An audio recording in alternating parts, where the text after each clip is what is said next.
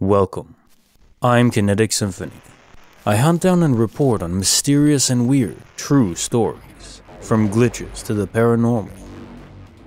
Case file number 699, written by ARB 1227. How could furniture vanish and then reappear? Recently, I was at my aunt's house alone to use her pool.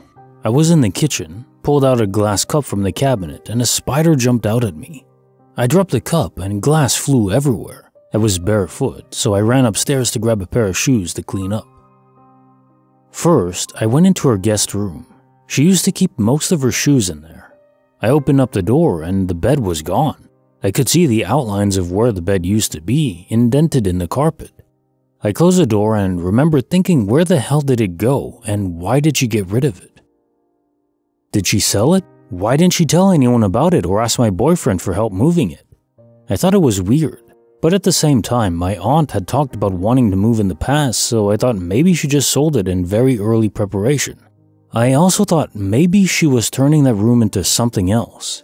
I had it in my head that I was going to text her and ask as soon as I got back outside where my phone was.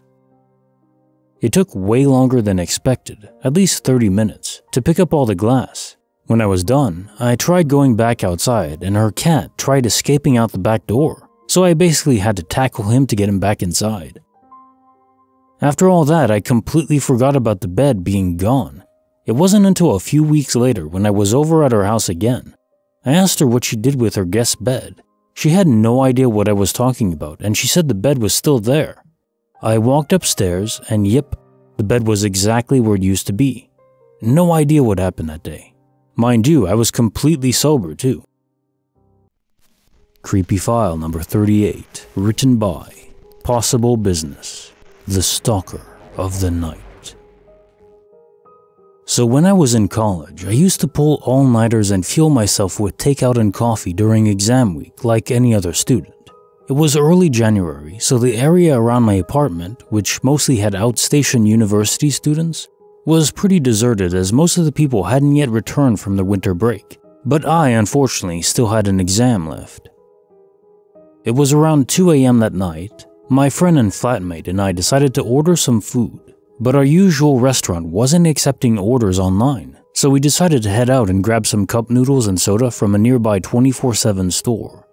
Anyway, as we walked by, most of the usual night stores were shut, and even the 24 7 store was closed for some maintenance issues. I was disheartened, but still very hungry, so I opened my phone trying to see if anything else was open nearby. I was busy browsing my phone for any place that might be open, and my friend started messing around saying that she saw something move inside of one of the stores and maybe it was following us, and I brushed her off as usual as I knew she had a habit of trying to spook me.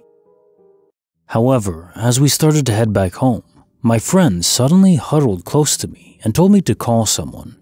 Me being the hungry and dense idiot that I am, I thought that she meant to call up a restaurant. So I told her in an annoyed tone that I was trying, damn it. We reached a T point intersection on the main road when my friend suggested that we take the inner lane, which is a shortcut to our apartment, as the streetlights on the main road are out and it's pretty dark there. I agreed quickly as the inner lane is pretty well lit and we know our way around. As we walked into the lane, my friend, who had been acting strangely until now, started to tug me by my elbow, and before I could question her, she looked at me in the eye with a somewhat scared smile and told me that we needed to run. She then started to run, like actually full on sprinting. Now, usually, I ignore her antics when she tries these practical jokes on me, but for some reason that night, I too began to run because something in my gut told me to listen to her. However, after a bit, I was cold and out of breath and I yelled at her, Can you just frickin' stop? Ugh, there's no one around, stop messing. She slowed her pace and turned around, and by now I was more than annoyed at her for trying to spook me. Mind you, by this point, there were a few feet of gap between us, and as I caught my breath and turned to look up at her, I could see her expression had paled all of a sudden. She wasn't looking at me, she was looking behind me. It was at this point my sleep deprived, cranky brain realized that something was seriously wrong, and I heard a noise behind me.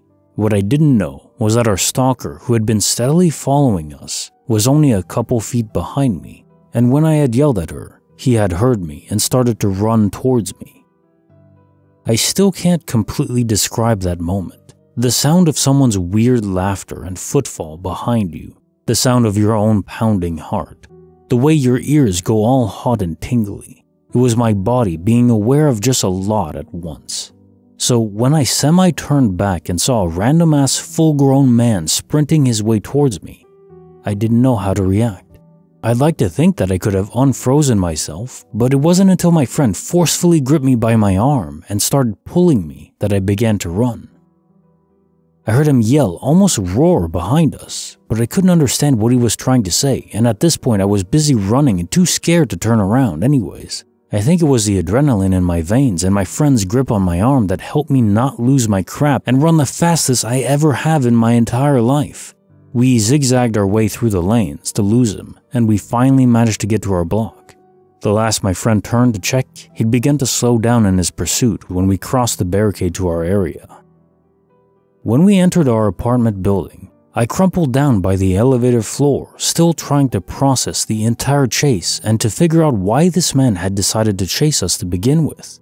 My friend then told me she'd seen him looking strangely at us when we were around the convenience store and he was near a truck unloading some boxes.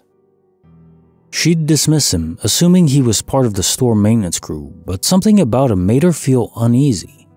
Later on, when we were at the T point, from where we enter the inner lanes, she said she saw him again with his truck following behind and felt that it could be a coincidence, but that she felt it was still better to take the inner lane where the truck couldn't go in.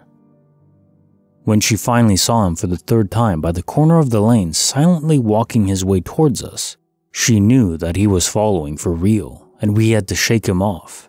She always used to jokingly quote to me, Once is happenstance, twice is coincidence, but thrice is enemy action. I still think it couldn't be more true in this case. Even though a lot of my friends later told me we could have taken him on as he was only one person while we were two, at that time, we didn't want to take any chances in case he had his friends waiting around.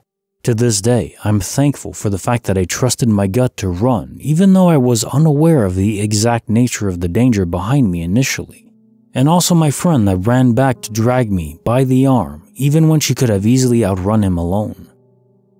It's been three years since then, and even now my brain automatically tries to scan who is around me and tries to mark out possible exits out of any room. Case notes for creepy file number 38 The Stalker of the Night. So, I'm a guy. Uh, obviously, my experience is going to be very different. But even as a guy, I've walked alone on the streets at night and it can get kinda creepy. Sometimes you have the impression that someone is following you, or at least watching you, the eyes staring behind you, boring into your skull. Sometimes there's just that feeling our subconscious picks up on so much more than it feeds directly into our conscious brain. It's this separation. The subconscious is doing so many processes that we're not aware of, and they're so quick. Well, sort of like all the paintings behind the scene, you only see the final one, and you don't know how quickly they're being painted, which is why it's typically a good idea to trust your gut. It's not always accurate, but it's picking up on so many things that you wouldn't know. For instance, you say that your friend normally pranks you, well, in this case, your subconscious probably was picking up on the fact that her tone of voice was different. It was more real, uh, so her pranks are more discernible, at least subconsciously. And also perhaps her mannerisms, her body movement, her facial mannerisms, her facial expressions. They would all be very different than in a prank, unless she's an expert actress. So your subconscious picks up on this and tells you, okay, trust her. There's something wrong. Your subconscious is essentially screaming, Red alert, everyone to battle stations. I find this so fascinating. Our minds are perhaps the greatest mystery in the universe right now. They're so powerful, and yet so misunderstood. Also, I wanted to mention that, for those saying that you should have stayed and fought, I don't agree.